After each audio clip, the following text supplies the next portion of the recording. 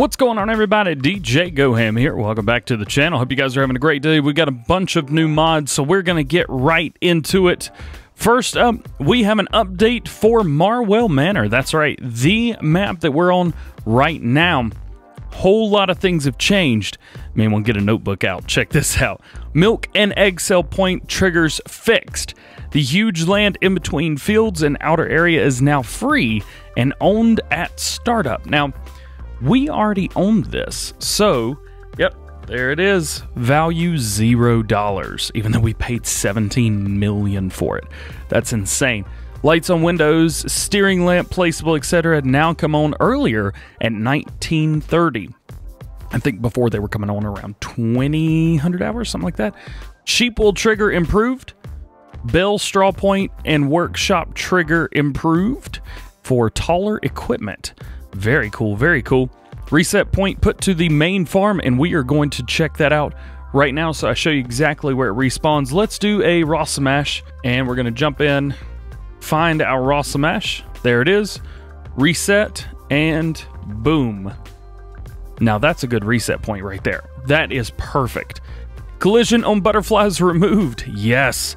Pig fence has been fixed. The BGA clamp will be removed so you can now place your own. Let's go take a look at that. Jump over here to the biogas plant. As you can see, it is gone. It is completely gone. Lights have been added to both yards inside and out. Data maps slash maps US slash environments maps. Errors in log fixed on PC. That is good. We did need that. Added a bit more detail around the farms. Grass now bends, which is true. Check that out. Cow manure pit fixed with a new bunker model. Well, that's cool. See, we did delete the bunker. Let's go check that out. Where is it? Where is it? Where is it? Where is it? Where is it? Right around in here. See, we've got a manure tedder. And you can see it is uh, been placed around. Let's go into garage. I think we need to delete that. There we go. Well, that's pretty cool. I like it. That's awesome. Does the manure still spawn in here? I believe that it still does. So there's that. But we did a lot of modifications. This is our game save. So we'll have to come back in here and double check that just to make sure. BGA land is already owned on startup to stop issues with Southview silage bunker not saving. Let's take a look at that. Let's see, we don't have it owned, but again, we have a game save, so there is that. Tweaked cow triggers, added a sell manure point at Rainbow Stores, very cool added more grass contract fields, and tweaked the BGA bale point and prices. Very cool. And no new save game required. That is a huge, huge thing right there. Moving on to the mods. First up is this guy right here. We got this yesterday. Yeah, the, the Heizomat. Let's go check this out in store. You're going to find this in miscellaneous and is going to be one of the first things there. It is heating plant, $68,000. Well, wasn't that broken? Yes. Yes, it was. It was very, very broken. But today, today is a glorious day. Because tis not broken anymore. Works exactly the way it should, or at least the way you think that it would. And that whole thing right there, 752 bucks. Nice. Very cool, very cool. So it does work now. So if you guys want to use this, blows my mind that it went through testing that fast. This had to be an error on. no, Giant's part. No, you gotta be kidding me. Oh well, is what it is. Next up, we have the bag and lifter. says it has tweaked the bag and lifter arm controls, added three point hitch control, and added extra visuals when emptying bags. Now, this thing's very cool because now we can raise and lower this on our own. We don't need it to do anything. And we can still use it to raise and lower by hitting the left bumper and B or left or L1 and circle. So that is cool. We can do either one. And it does go much faster, it feels, whenever using the joystick controls. Either way, and of course we can go up and down with it. And this is new. I didn't see this before. Maybe it's just me, but look at that. It goes out. I had no idea it went out. Again, maybe it's just me, maybe not, but that's cool. That is neat. If it didn't before, there you go. If it did before, Well, there you go. Nonetheless, super, super cool. Next up, we have the U Bunker Silo. Now, the U Bunker Silo is pretty cool, but like, why? Eh, damn me, me, it's just me. Let's check this out in silos. Let's go over to it. Right here it is, the U Silo, $40,000. Boom, place it anywhere. I will tell you, it does not change the way the ground works below it. So if you place this like up here, for example, it is going to be up there. For let me show you. Let me just plop one down right there. So you've got all this room below it, and you will have to terraform up to it. Now, this could be beneficial to you. This may be the way you want it to be. You want it to be the way you want it. You don't want it to raise all the ground up around and change everything. So that's good. Now, you will have to move it up, and as you can see here, we have done so. This will hold 2 million liters. You heard it right. 2 million liters. That is insane. That is huge. But pretty cool nonetheless.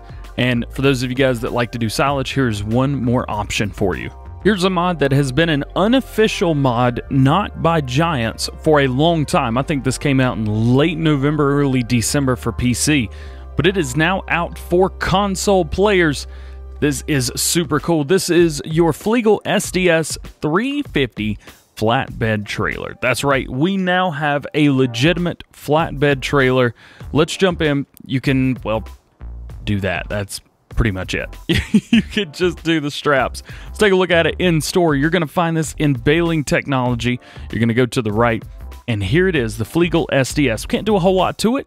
We can change the wheel setup from these skinny standards to a little bit wider wide tires, which are more like a Trelleborg tire. And that is it those wheels are going to cost you 600 bucks. $28,000 is going to get you that, which I think is a very, very good price for what it is. Nonetheless, super cool, and this is going to be very beneficial for those of you that like to move a lot of things at once. Up next, we have Silage Fork. Yep, that's right, just Silage Fork. Look how far out this extends. Way farther out the, the side. That's crazy. Let's take a look at it. You're going to find this in wheel loaders. This is a wheel loader implement only. Silage fork, $4,100. Main color, any color you would want. You want yellow? Go for yellow. You want pink? Yo, that looks good. Yo, black and pink. Yeah. Throwing back to some goth days. There you go. I dig that. Yo, that's hot. That is hot pink right there. but you can change that up 5,000 liters. This thing will hold all the normal stuff that you would expect. And it goes nom nom nom. This is a chomper. There you go, just like that. Now, of course, you don't need to have it chomped, but makes it good. Now, will it dump out if it's chomped? No, it will not dump out if it's chomped, but as soon as you let that chomper go, there it goes. Just like that. And it's gone. but the chopper nonetheless. Very cool, very awesome. This thing is going to be great. I love the way this looks. Um, it can also be used to pick up bales. As you can see, you've got teeth all around. I wouldn't try and pick up more than maybe four or five bales total with this guy. Square bales, circle round bales, you could probably pick up three wide, maybe two high without any issues. So if you got bales sitting around like that, I'm sure this would work good for you as well. Cool mod. This next mod is a little different but still has its place because of this. That's right, we have an adjustable pallet fork now, and this will do, of course, bales as well. So if you got a pallet that's like that, go for it. If you want to get under there like this, go for it. This thing is cool. Oh, I love it. I love it. It's the silliest, dumbest little thing, but I'm just like, clap, clap, clap. it gives itself a standing ovation. That's awesome. Uh, you also get two other models as well. Uh, you get a double spike and a quad spike, which is still, nonetheless, there you go. Let's take a look at these. You're going to find these in front loaders, and it's got these same looks as Pallet Fork. 800 bucks all the way. Pallet Fork, 800 bucks. So why would you not get the same thing? You can change it any color you would like. Let's go for a Silly P green on that one. You go $200 to change the color. You got pallet fork, which is what we were using. You got bale fork small and bale fork big. Again, you can go for the two or the large. If you want all of these color options with everything, it's going to cost you $350 for the options, bring your total to 1150 bucks. Not too bad. Not too bad though. I dig this mod. Next up, we have the Amazon Cenius 3002. This is a cultivator, and you will find it in such places. Cultivator. Amazon Cenius. Now we've got large models now. We have an 8 meter, we've got a 6 meter, and now we have a 3 meter version of this. Do we have any more of that? Nope, nope, that's it. So we're getting a lot of these Amazons, which I'm not opposed to. I like them a lot. 100 horsepower, 3 meters, 9 miles per hour, costs you 12 grand. This is not a bad little starter. Take a look at it, drop it down, go. I mean, other than the fact that it's not doing it. Okay, there we go. I just wasn't in the field yet. So there you go. It works. Uh, we do have a 100 horsepower tractor on it right now. As you can see, yes, it works. Also, yes, we're having a bit of trouble, even with a slightly uphill go with it. We are having a bit of an issue getting up to that magic 9 miles per hour. Nonetheless, it's a good mod and it looks good. It looks very good. This was well done. I am impressed. On to what I would consider one of the cooler mods that we got today. One of the more unique mods is the Lizard 20 foot bale trailer. This is a 20 foot refurbished bale trailer with krills manufactured by Lizard Engineering, Kildare, Colorado, Ireland, used for moving bales and pallets of bulk material, which is exactly what we've got on here now. We got a couple uh, straw bales, we got a silage bale, uh, we got some herbicide, and of course, we have some oats. And you could take these off if you need. Boom, boom, boom, boom, boom. It works just like any other bale trailer that you've ever seen. But it looks awesome. Let me get some of this stuff off of here and show it to you. Not pretty, but it worked. Check this thing out. Oh, looks so cool. One thing I will tell you is when you come through with the straps, the straps are a little low because they go under whenever they're not being used. They don't go over. So as to not ruin the just I don't know, it's, it's a beautiful trailer. It's what it is. Let's check this out. You're gonna find this in baling technology. Let's go over a little bit. And here we go. 20 foot refurbished flatbed, 8250. You're gonna come in here, rim color, any color you would like for the rims. We're gonna go black just to make it look cool. Wheel brand. We go Lizard, which are twins. We go Nokian, which is more of a road tire. Or you can go Trelleborg, which is more of a little fat tire, which is what we've got on our demo model. Design, you can go standard, new front krill, new front, back front krill, all options. There you go. There's a thing on the bottom there. Can't really get my look on it, but just a little box. Just a little box, not on the left side, only on the right side. Still, awesome. Very, very cool. Was there one other option that I missed? No, there's no, no. DJ doesn't miss stuff. DJ probably missed something. Oh, yeah, the registration. Totally forgot about that. Spin this around. So on the back we have no registration. We've got in real life Kid uh, Kildare regular and Tipperary regular. Very cool, very cool. I believe we've got one of those. So this is the Tipperary regular. And we get up on this. It's clean. Silly P right there. Got to get up on it. Take a look. This is a good mod. This is, again, one of my favorite mods that came out today. Next to last mod, we got one more after this. This is the Fella Juras 14055 Pro. I'm never going to get that right. Ever, ever, ever. 14,055, whatever. Just quit. Just take the zero out. Urgh. This is a 14 meter windrower. That's really all it is. Let's take a look at it. You're going to go into windrowers, and there it is. The Fella Juras can't do anything to it. 11 miles per hour, 14 meters, 130 horsepower required, 77,820 bucks. Not too bad, not too bad. Thing is, it costs more, more than the Lely Hibiscus 1515 CD Pro-Fi, which has a lower horsepower requirement and a higher working width. So as far as I'm concerned, this does not have its place. It's cool. Don't get me wrong. It's cool. It looks good. It's a great mod.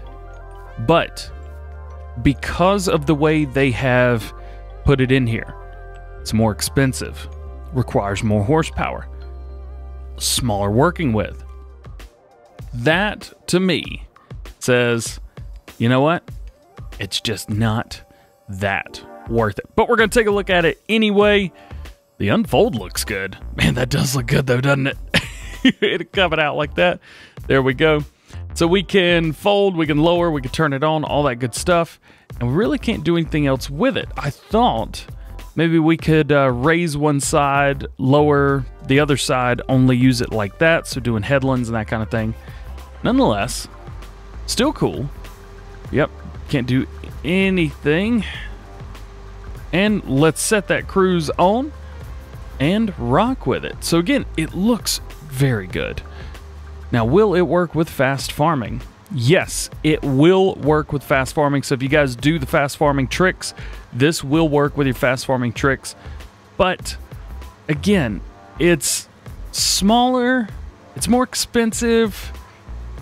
I just don't think that this is is going to be the way to go. Now, we'll say this drives a whole lot easier. I know the Lely that we have in game drives awful. So this drive does drive pretty good, so that may be something to keep in mind. But again, we have a low horsepower tractor right now. Uh, it is not taking full advantage of everything that we can do here. If we had a higher horsepower tractor, we could definitely get all of this much faster. But nonetheless, it is a good looking mod, and there's nothing wrong with it. There, there really isn't. And, and it may sound like I think there's something wrong with it. There's nothing wrong with this mod at all. I just think in time, I don't think it's going to be as cost efficient for you. That's all I'm saying. Drum roll, please.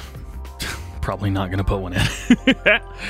this right here is the most game changingest mod. I don't know if I've ever seen this much of a game changer before, but this is everything and anything other than silage and TMR the console players have been waiting for for years. This is the buying station for all fruit types. This is not all fruit types. This is basically a pig food feeder. That's all this is. But let me explain. We got wheat, barley, oats, soybeans, corn, potatoes, sugar beets, sugar cane, seeds, straw, manure, fertilizer, lime. What? Um, that's a lot. First off, can't buy can't buy grass or hay, but you could buy straw here. You could buy seeds, sugar cane, sugar beets, potatoes. This right here is a pig food feeder. That's exactly what this is. Again, you can't buy pig food here, but you've got everything to do them. Wheat or barley, soybeans, corn, root crops. Yo! um so there you go. Now, I've been told that this loads very slow. So we're going to click this. Oh my gosh. Oh, that that is the slowest thing on earth. Look at that little spout too. So yeah, this is going to take you a long, long time. Let's see. Would we be able to see 2000 right there? $82 for 2000. Let's go into straw. Could we make a profit off of this? on a normal day. 136 bucks per thousand liters. So, yes, we make a big profit off of that. There you go. Well, those are your console mods for today. I hope you've enjoyed. There's a whole lot of stuff here for everybody and all walks of Farming Simulator. So, with all that being said, that is it for today. I hope you've enjoyed. If you did, please drop a like. If you're not, please subscribe. Uh, if you want any more information on these mods, I will have links to the Mod Hub down below. You can go check them out for yourself. There's a lot more information than what we talked about today linked in that website. So make sure you do. It's going to be titled Giants Mod Hub. Also, if you want to see what's in testing right now, down below as well, there is a Giants Forum update or Giants Mod update, something Giants Forum update mod, blah, blah, blah. It's going to be linked right below the Mod Hub. Make sure you click that. Go check it out. Join the Giants Forum. Join the conversation over there. You will learn so much about Farming Simulator in there. It's not even funny. Whether you think you know everything or not, that place is for everyone. So, that being said, hope you have a great day, we will see you later. Peace.